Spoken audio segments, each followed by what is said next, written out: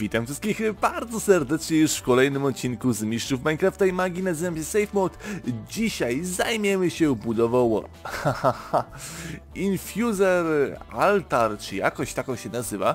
Postawimy go tutaj gdzieś na wodzie, gdzieś w tych terenach, żeby to było troszeczkę od mojej hacjenty, gdyż tutaj miał wszystko i tak się jak zapchane.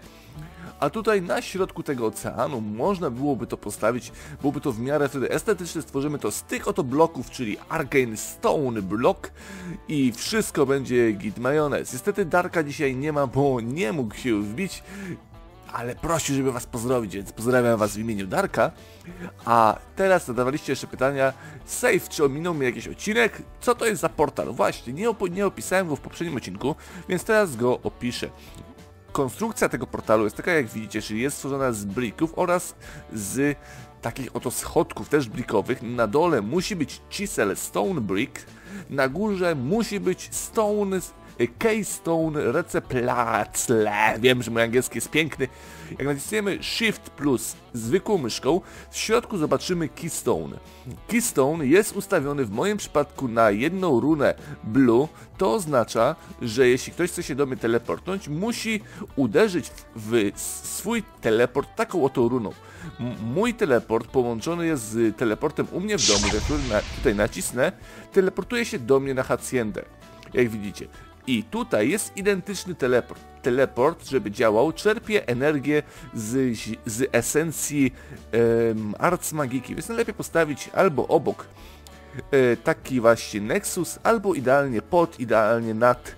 Można go spokojnie postawić. Bardzo fajna sprawa, naprawdę polecam Wam takie właśnie rozwiązanie.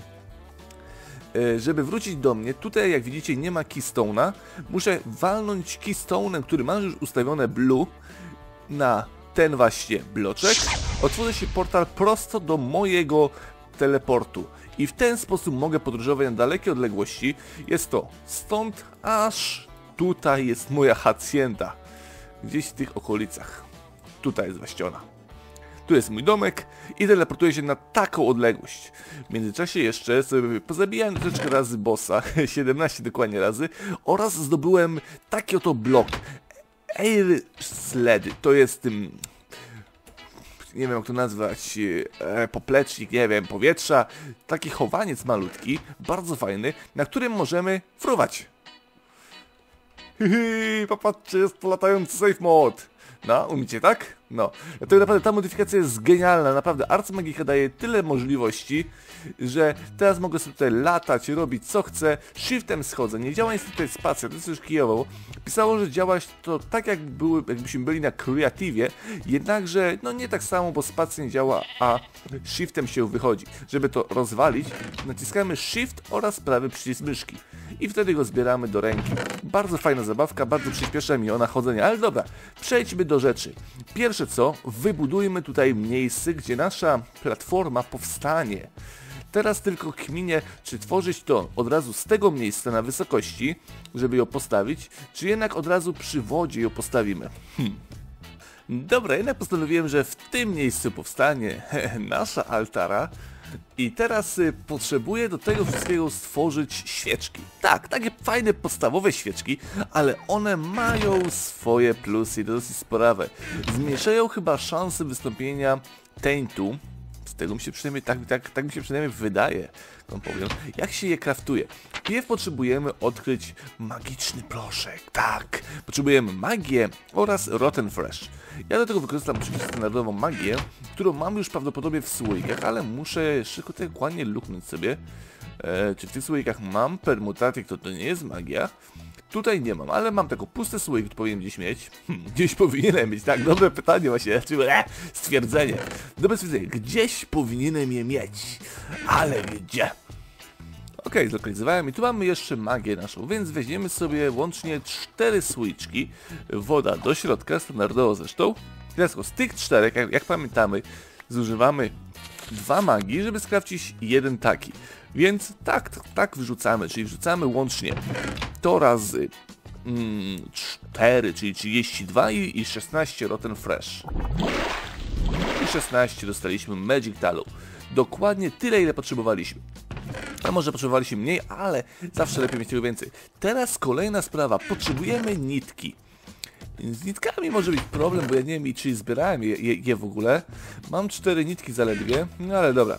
Powiedzmy, że tyle nam na razie wystarczy. Teraz nie wiem tylko jaki crafting jest potrzebny do tego. Użyjmy ten magiczny crafting. W ten sposób. Nie, dobra, zwykły crafting tutaj by wystarczył. Teraz dostajemy takie zwykłe, podstawowe znicze. Ale je możemy pokolorować. Jedno wrzucenie i użycie minion stone da nam kolor orange. Weźmy sobie takie dwie sztuki, zobaczymy co będzie kolejny. Dalej mamy pomar e, różowy i mamy niebieski, ok. Ja sobie bym wziął wszystkie niebieskie, więc rzucę tutaj sobie kilka razy. Wolę to zrobić w ten sposób, niżeli zmarnować moje surowce, czyli lapis. Prawdopodobnie tutaj bym, bym musiał użyć do połączenia. Oczywiście standardowo zbieram sobie te aspekty, bo później po raz osiem się one przydadzą, chociaż mam dużo tego, popatrzcie. Z samego aspektu Perditio mam już tutaj 137 oraz tery mam chyba 300, tak dokładnie, 304 mam tery. Naprawdę to są już bardzo wielkie ilości, ale dobra, przejdźmy co dalej potrzebujemy, żeby to skrawcić. Dalej. Kolejna sprawa to będzie wykrawcenie tych itemów. Tym się zajmę na samym końcu akurat, ale to możemy skrawcić, czyli piedestały. Piedestałów potrzebujemy łącznie 9 sztuk. Surowcem mam na nie chyba, tylko nie wiem czy mam tyle run. Dobra, tu jest wszystko w porządku. Będzie za mało tego kamienia, a nie, to są po dwa tworzone. Tu mamy 8, jeszcze jeden. 10. Ok, ja potrzebowałem 9, jak mówiłem więc będzie w porządku. Teraz tylko jeden piedestał ląduje dokładnie na samym środku, więc tu mamy środek po tej stronie, a po tej stronie mamy cztery, tu, tu jest środeczek, tak? W tym miejscu, dokładnie tak, dokładnie w tym miejscu jest środek. Teraz kolejna sprawa to jest postawienie tych rączek do naszej altary. W ten sposób musi budowana. Tu są stone bricki. Stone bricki wykonujemy z czterech tych sta standardowych stone'ów. E, dlatego też będzie, będę potrzebował tutaj jeszcze hmm, więcej stone skraftić. W jaki sposób? Najprostszy bakrafting, który istnieje, czyli zwykły stone oraz tutaj niestety muszę poświęcić moje kryształy, których nie mam dużo, jak sami już widzicie aktualnie. Coraz większa bieda z tymi, z tymi kryształkami już u mnie jest. Tym bardziej, że nawet chyba nie mam już przepalonego kamienia, więc będę musiał teraz szybciutko to jeszcze przerobić. Eee, wobec niego ani ruszy dalej. Więc dobra, więc jakoś tutaj tutaj spokojnie przetwarza. Dobra, przy okazji wykonajmy sobie jeszcze jeden itemik.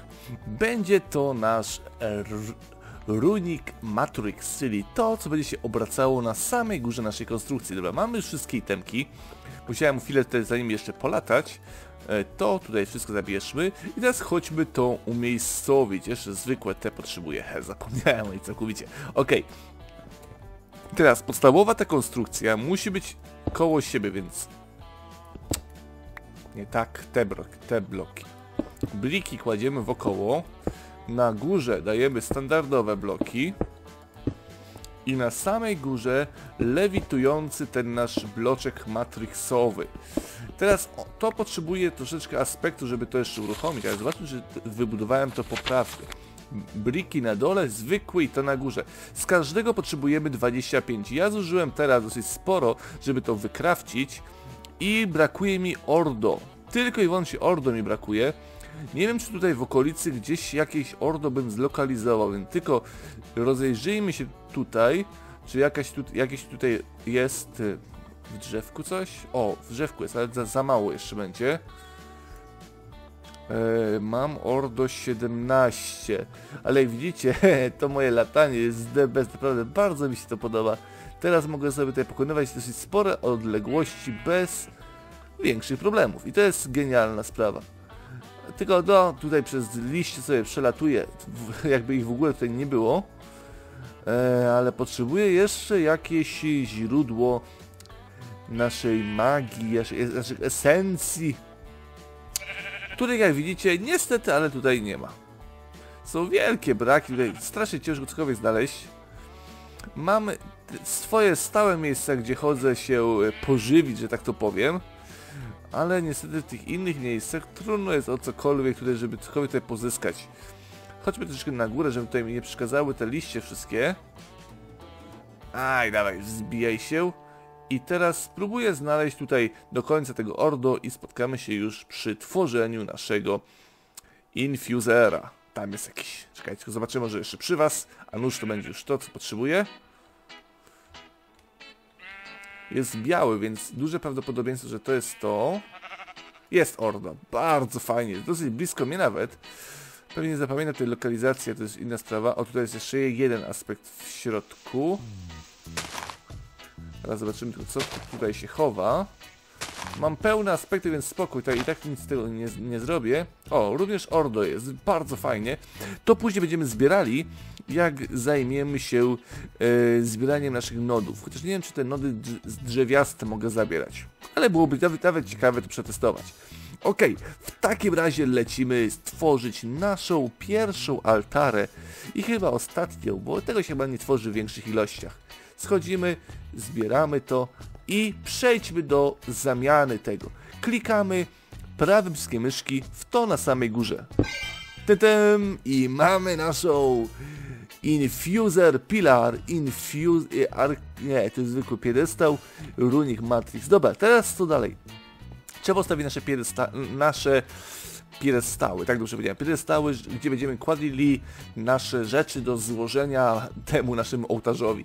Położę je od razu obok, można je postawić w, w odległości, nie muszą one stać idealnie przy, ale ja jakoś wolę, żeby to wszystko było jakoś tak jak najbliżej siebie. Dalej, między nimi kładziemy pochodnie, znaczy nasze świeczki, one zmniejszą nam troszeczkę poziom taintu, który będzie tutaj się generował, a dokładnie szanse na jego powstanie. Mam za mało pochodni, znaczy za mało świeczek, what fuck. No i dobra, i mamy już wokoło wszędzie je ustawione. Nie, ma, nie wiem, czy będę dawać tutaj ich jeszcze więcej, czy to cokolwiek będzie nam dawało, ale na razie zostawmy tak jak jest. I teraz co chcę skrafcić? Mam dwa itemy, które potrzebuję. Jest to do, naszy, do, do naszego golema, czyli Core Use. Potrzebujemy do tego hmm, te oto wszystkie rzeczy. Ja mam te dwa na pewno pozyskane. Tego środkowego niestety nie mam jeszcze chyba zebranego. Zaraz tutaj lukniemy tylko tak szybko okiem. No, tutaj widzicie mam zębatki zebrane. Aktualnie mi się przetwarza coś y, z kamienia, znaczy z metali i czy mam zebrany tamten jeszcze aspekt? Chyba nie, go nie zbierałem tutaj jeszcze. Dobra, tutaj nic nie mam. O, tu mam tego ludzika, więc to jak widzicie mam też już zapełnione, ale tego ostatniego niestety nie mam, więc na razie może to odpuśćmy, a spróbujmy wykonać sobie lepszą różdżkę. Do tego potrzebujemy wszystkie podstawowe aspekty, więc tutaj też będzie troszeczkę problem. Też ich nie mam. tak. E, więc dobra, w takim razie pozyskamy na tego use te aspekty. Dobra, nazbieraliśmy wszystkie esencje. Teraz trzeba je postawić jak najbliżej tego naszego stolika do przeróbki, więc postawimy je w tym oto miejscu. Są one bardzo ładnie nazwane, mają, mają swoje naklejki. W każdym jest prawie chyba max, tylko w tym jednym nie mam maxa. Skąd to pozyskałem? Z flintu. Flint ma jedną sztukę. Tak właśnie wiedziałem, że jakoś po prostu da, da się go stworzyć. Teraz tylko zobaczmy, czy to są te dokładnie aspekty, czy później nie było żadnych ekscesów, że się coś, coś nie wyszło. E, instrumental, maszynima, Magmus. Ok, to jest to, co potrzebujemy. Teraz ostatnia kwestia, którą jeszcze trzeba stworzyć. Są to itemy potrzebne do craftingu. Potrzebujemy poświęcić takie cztery przedmioty, czyli nożyczki, flint, ee, zapalniczkę naszą, level oraz hmm, komparator. Nigdy nie wykonywałem, powiem wam. Nie używałem standardowego Minecrafta, dlatego lemy to jest nowy crafting. Wow, Nether Quartz. Dobra, nie jest to drogie, ale nowy wymaga craftingu, a że mi się nie chce craftić, dlatego też uruchomię nasz silnik, uruchomię nasz, e, nasz ekranik i będę crafcił za jego pomocą, będzie mi o wiele szybciej. Więc spotykamy się za momencik. Dobra, teraz przejdźmy do ułożenia, więc po kolei. Tutaj ląduje zapalniczka, tutaj lądują nożyce. Nie wiem, czy ma znaczenie, w który, gdzie co będzie leżało. E, nie mam naprawdę pojęcia, czy to ma jakieś znaczenie. I ostatni to jest kapacitor nasz, czyli tu jest wszystko, jak na razie, to co potrzebujemy z podstawowych. Teraz na sam środek dajemy e, core, który jest, znaczy core o nazwie empty. Dajemy go na sam środek. No i dobra. I co teraz trzeba zrobić? Oczywiście wziąć swoją różdżkę do łapki i skrawcić to. Chyba nie potrzebuję tego w różdżce, tego potrzebuję to w słoikach, dlatego też zacznijmy zabawę, czyli pierwszy item, który będziemy tutaj krawcić. Ach, kurczę, ciekawe czy rozwalę świat, czy, czy nie. Lecimy z koksem. Na górze pokazuje, co potrzebujemy do craftingu. Po, będzie on zabierał te itemy, co są z tych słoików. Czym bliżej, tym lepiej, tak mi się wydaje, bo chyba jest mniejsza droga. Jeśli coś nam będzie brakowało, to on będzie czekał i zwiększał swoje zapotrzebowanie jednocześnie. I teraz będzie zaraz powoli zjadał każdy przedmiot, który mu tutaj wystawiliśmy, żeby to skrafcić. No, zobaczymy, czy nie będzie żadnych anomalii. Anomalie są tutaj niby mało, małe. Jest małe prawdopodobieństwo, że one mogą wystąpić. Dobra, zżera już itemy. I uwaga, czy nam zamieni, czy nam zamieni, czy też nie. Zjadło kolejny item, jeszcze tylko jeden itemik. I uwaga, uwaga. Pięknie. Mamy zamieniony. Więc uzyskaliśmy to, co chcemy. Core use. Ale, że jeszcze mnie stać, to ja powtórzę tą samą czynność jeszcze raz, układając w tych samych miejscach nawet. Oczywiście jak zobaczycie, ja kładę po ukosie za każdym razem, Yy, bo tak jest mniejsze prawdopodobieństwo. Tak przynajmniej mówił Klopero na swoim poranniku. Jeśli nie oglądaliście go, to bardzo Wam polecam, żeby się wbić na kanał Klopero i oglądać sobie poradnik z Towncrafta. On tam chyba trzy odcinki nagrał i to naprawdę dużo pomaga samemu ogarniać tą ciężko jest. Wyście jest ciężko. Ok, jest wszystko ustawione, więc stwórzmy sobie jeszcze jeden taki core. Ja już się tu nie będę patrzył, a pójdę w tym czasie, stworzę golemy. Golemy, które będę używał z tym use, będą to golemy klej. Dlaczego? Szybkość ma średnią i ma średnią wytrzymałość. Jako, że ten core jest dosyć drogi, to nie chcę dawać tutaj golema aż tak bardzo słabego, a to samo chcę dawać golema, który jest wytrzymalszy, ale jest bardzo wolny. Dlatego też popatrzymy tutaj. Potrzebujemy Spiritus, potrzebujemy Motus i Humanus i wrzucamy do tego Bricka przetworzonego już blika. Więc czekajcie, wiecie co? Kurczę, tak się zastanawiam, czy oddalam się od tego, ale czy nie będzie mi szkoda później itemu, który tutaj się stworzy, a na przykład mi zniknie. Ok, już jest stworzony. Zabierzmy go, mamy dwa kory use, czyli bardzo fajnie. Muszę zebrać wszystkie itemki potrzebne do stworzenia tej lepszej różdżki, bo to też by mi się przydało. Dobra, w takim razie potrzebujemy bricka. Bricka jedną sztu sztukę, nie, dwie sztuki, dokładnie, bo dwa takie stworzymy golemy. Yy, I potrzebujemy pozyskać aspekty. Czyli chodźmy i je pozbierajmy. Najprościej mówiąc, po jednym słoiku z każdego. Motusa mamy za mało, ale skoro on tutaj jest, to gdzieś powinien on zostać przelany. I temu mi on zniknął. Hmm, serio? Tylko tyle motusa? Dobra, czekajcie, muszę potworzyć sobie tutaj kilka aspektów, bo brakuje mi. Dobra, wszystko już mamy, więc spróbujmy teraz to stworzyć. Czyli wrzucamy do środka te trzy nasze fiolki. Raz, dwa, trzy oraz bliki. No i dostaliśmy nasze klej golemy. Teraz spróbujmy je hmm, zaprogramować. Dajmy neogolema, dajmy mu core use.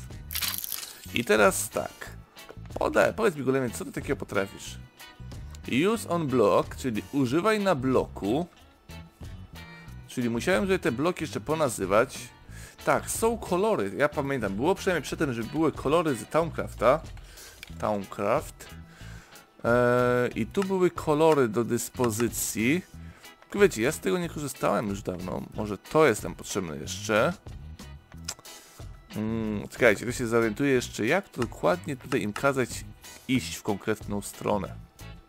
Ok, można go tak ustawiać, czyli kazać mu iść w konkretne miejsce i on wtedy tutaj będzie szedł i to kładł tutaj. Ale przechodził przez to i się parzy.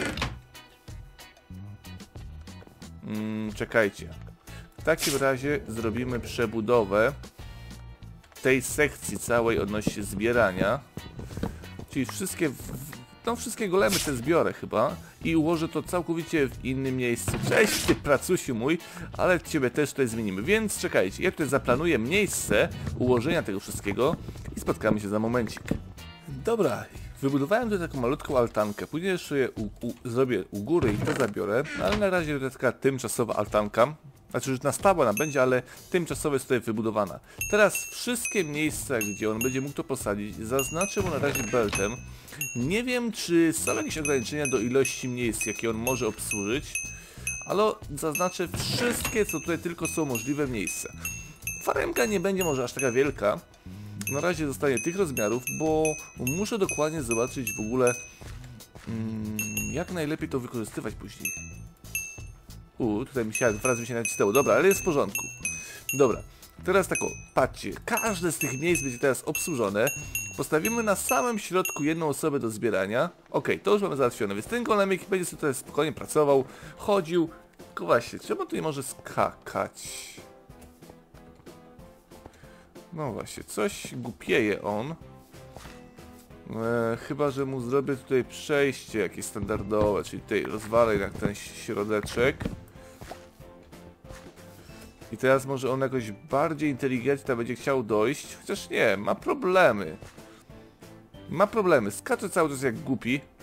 Wow, patrzcie się na tą kombinację wszystkiego. Naprawdę. Straszycznie, straszycznie to wygląda. On chyba oszalał, tak szczerze mówiąc. Chociaż nie, już przeskoczył na drugą stronę. Ale co on chce teraz tutaj zrobić? Co on próbuje w ogóle? Co ty chłopiec tutaj próbuje zrobić? No powiedz nam to. Ha. Kurde, przydało się jak dowiedzieć, jak dokładnie to sadzić w inny sposób. Dobra, znalazłem problem. Po prostu on głupieje całkowicie, jeśli dostanie dwie strony do obłożenia, bo on nie rozumie o co chodzi, jak dwie strony można w ogóle zrobić. I tu są te jego problemy. Te boki mogę jeszcze obstawić. Tu są jeszcze jakieś ustawienia, że można tutaj ustawiać go na konkretny blok, żeby stawiał. Eee, tutaj. No ale to nie wiem dokładnie tutaj kaman, dlatego na razie tutaj nie będę nic ustawiał. Tu jest y, jakiś jego zasięg czy coś, tutaj on będzie obstawiał jedną stronę. Drugi jego kolega zajmie się natomiast resztą, ale tego pierw zróbmy tego jednego do zbierania standardowego. Tutaj go postawimy na zbieracz. Eee, nie można mu ustawić chyba dokładnie co ma zbierać, bo mana beansy się różnią. Jeśli dają mu tego mana beam, zrzucimy innego, zbierze go. No właśnie nie, bo to jest całkowicie coś innego. Więc to zabierzmy. No i dobra. Uuu, ja to zjadłem? Zjadłem to chyba. to jest przypadek oczywiście. Tak, jestem, jestem. Nie, jeszcze nie robię tak, że po prostu siedzę nie wiadomo cia. Dobra, to mamy załatwione. Yy, tak, nagrywam. Jeszcze chwila, moment będzie. Dokładnie, czekajcie, to mam zrobione, czekajcie. Potrzebuję jeszcze jednego do zbierania. Gdzie go posiałem? Tutaj jest harvester, dobra. Harvester jest tutaj w tym miejscu. Yy, postawimy go dokładnie na środku, żeby on zbierał tą całą sekcję. Tak, zapomniałem oczywiście, mieli ci powiedzieć. Ja tu to nagrywam od ponad 3 godzin, więc tak to zleciało jakoś. yy, dobrze. Więc to byśmy mieli zrobione. Teraz tego, jeszcze jednego tego kolegę postawię, więc zrobimy go, damy mu core use i go ustawimy na tą drugą sekcję, której ten jeden niestety nie jest w stanie obsłużyć. Podepniemy go też do, do tego miejsca i zaczniemy go ustawiać. Czyli teraz on obskoczy całą drugą stronę. No co jest? Klik na niego. Coś, coś, coś, coś nie trybi mi to. Aha, to jest on. Czy muszę nacisnąć na skrzynkę, żeby on się odezwał?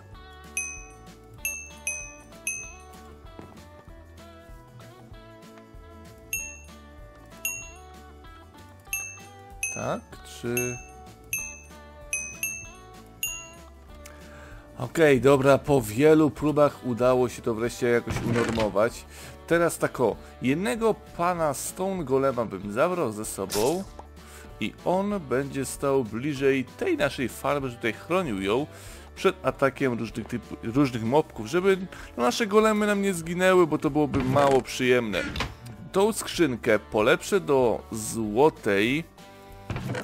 Do złotej najlepiej nawet polepszył do diamentowej od razu, bo tam będzie potrzebne miejsce, tak, dużo miejsca tam, tam będzie nam na pewno konieczne. E, gdzie my tu mamy jeszcze żelazo? Żelazo, żelazo, gdzieś ty jesteś, jest dobra. E, emeraldów też nie mamy, żeby stworzyć sobie więcej diamentów. Jednego diaksa mi brakuje. Hm, bieda, to się nazywa dopiero bieda. E, chyba, że gdzieś mamy to odłożone w skrzydce, zaraz pójdę jeszcze zobaczę, bo jeszcze w jednym miejscu mogę mieć itemki. tą skrzynkę polepszymy na razie tak jak możemy, czyli na złotą. Nie, tu nie mam przedmiotu, więc niestety, ale chyba więcej ich nie mam. Kurczę, naprawdę strasznie malutko tych itemów mam. Dobra, więc złotej, diamentowego polepszenia nie zrobimy, ale to by było już na tyle. Dla Was to może jest malutko, ale ja naprawdę dosyć sporo czasu już poświęciłem na ten odcinek. Tą farmę rozbuduję poza nagraniem, jakoś tu wykombinuję, jak te makre, markery się robi, chociaż chyba nie da się ich zrobić, skoro golemy nie miały takiej możliwości. To dziękuję Wam za obejrzenie tego odcinka, komentujcie, subskrybujcie, dawajcie do ulubionych, polećcie znajomym, łapki w górę i do zobaczenia w kolejnym odcinku. Golemy pozdrawiają. pa, pa.